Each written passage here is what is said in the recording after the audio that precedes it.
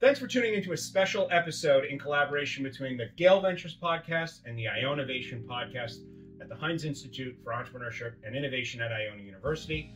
I'm Rob Kistner, I'm Adrian Vasquez. and today our guest is Charissa O'Connor. For the past two days, we've been running an eTalk speaker series where we've invited entrepreneurs and business leaders to come and talk to our students about their entrepreneurial journeys. It's been a really awesome experience, and we're glad to have Charissa in our little temporary studio today. So, how are you? Good. Good, good. Um, so Charissa's been on the Gael Ventures podcast before, episode 15, if anybody's interested.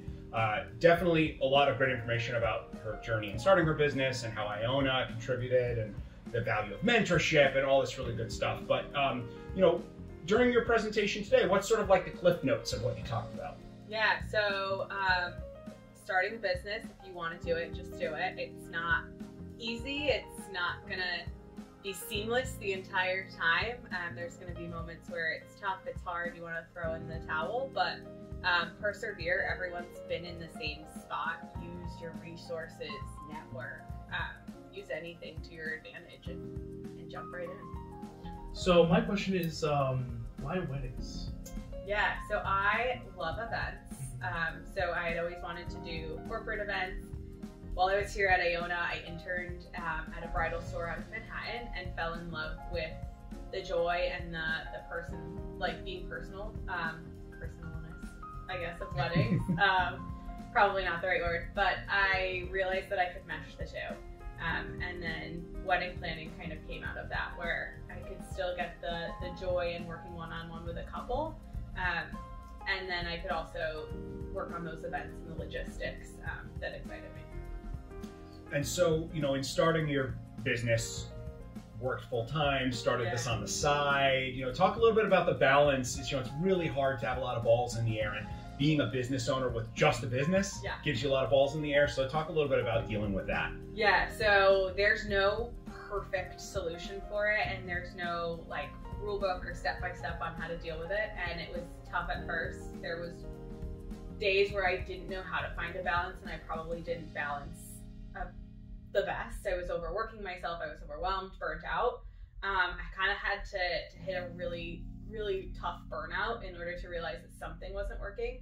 I reevaluated what my priorities were at the time. Um, took not a step back from my own business, but I kind of took a look at what I was doing, what I was providing, and what was kind of a time and an energy suck, and took um, a few steps back. I, I altered my services. I only offered um, really one service for a while so that I could manage my time, and then got to a point where I learned how to balance the two in terms of I outsourced a lot of things for my own personal business. Um, I found a great working relationship with my, my day job, and now I'm at a point where um, I feel pretty good about the balance and knowing what my limits are. Yeah, it's it's it's always impressive to see entrepreneurs that can really sort of parse out the different responsibilities and headspace and processes and all that. And you know, you're right. It really does take like crashing to realize that you have to take a step back. And it's like it relates to that old adage, like don't work in the business, work on the business. And as a new business owner, it's like it's your baby, it's Yeah. your blood, sweat, and tears. It's so hard to let some of those things go. So certainly understand where you're coming from. So you mentioned that process just learning how to balance your work life. So um, how did you learn what to delegate, what not to delegate to other staff? Yeah, so I kind of overhauled everything I was doing. So I took one um, client from start to finish and I just wrote down every task I did. Um, and then at the end of the wedding ended, I took, you know, about a week and I just looked at each task and I said, is this something that I specifically have to do? Or if someone had the tools or a checklist on how to do this, could they do it? And I just put a star. And 90% of my process, I had a star next to. Um, and so I, I hired a VA and I was like, all right, it's going to take some time. I'm going to build out a group uh, blueprint. It's not going to be great right off the bat. And uh, between her and I, over the last, I'd say, year, we pretty much ironed out a process where she takes on a majority um, of the work for my wedding management couples. Um, so she'll do a lot of back end work when um, questionnaires go out. All of the information and stuff I usually ask in a call. I put that into a questionnaire, saves me time. She'll plug it into a wedding day playbook, and then um, about a day before uh, a call with a couple. I'll look through everything they sent over, come up with my questions, uh, familiarize myself with where they are, and then I'm only spending two hours on a task that was taking me 10.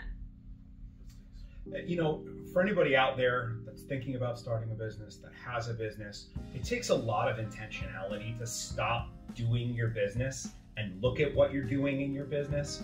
But it's really important. Like as Charissa just shared, like 90% of the tasks that you were doing day in and day out, you didn't need to.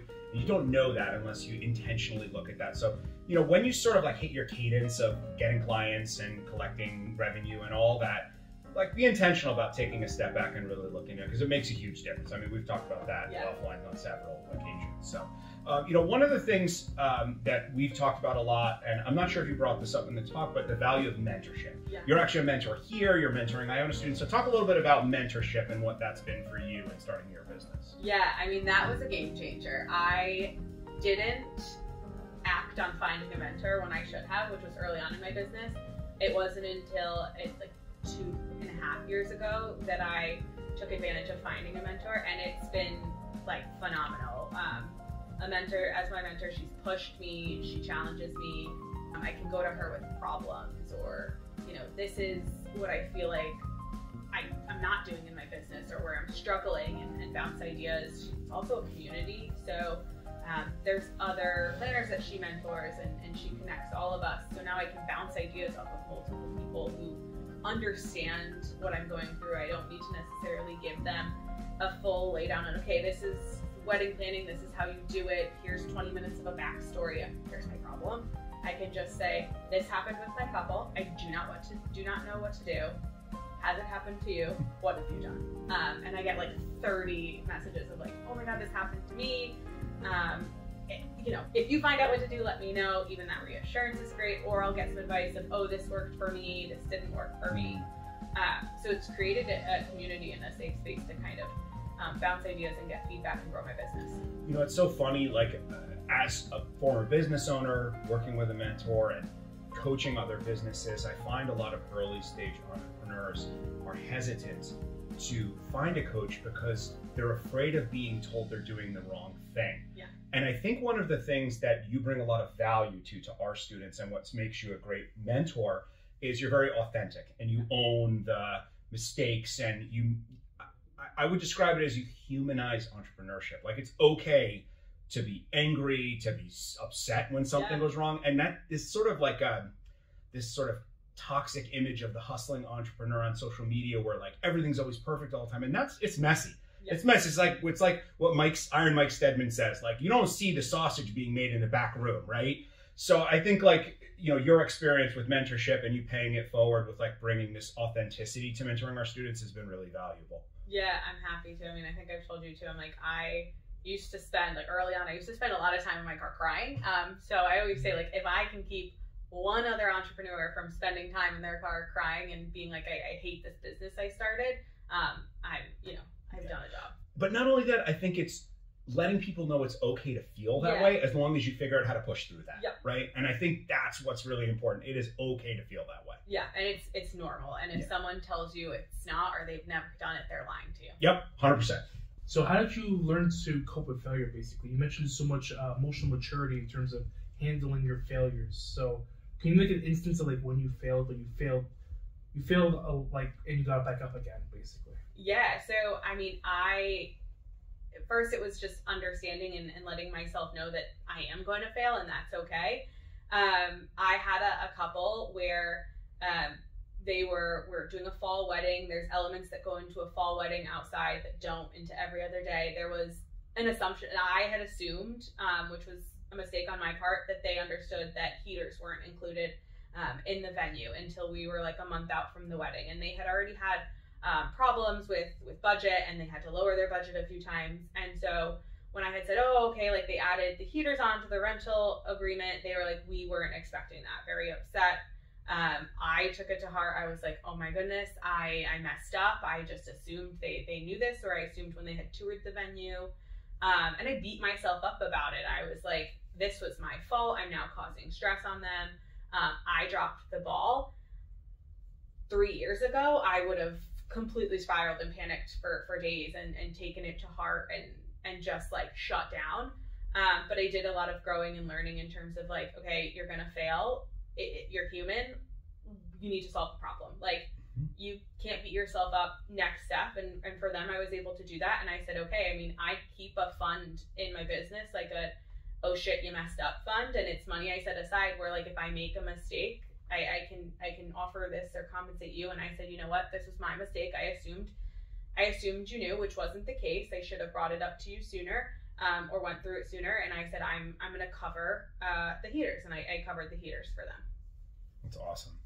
Well, you made it right. You Yeah. were, you own the mistake. You were Yep. honest about it, and think that's the best you can do. And if people are unreasonable in their reaction to that, then that just is what it is. It is, yeah. You know. To wrap this up, any tips or any advice for our students that are aspiring entrepreneurs? Yeah, I'd say just jump in and do it. I mean, do it while you're here at Iona um, or while you're in school. You have so many resources. You have professors, other students. Um, they're willing to help you make connections, give you feedback.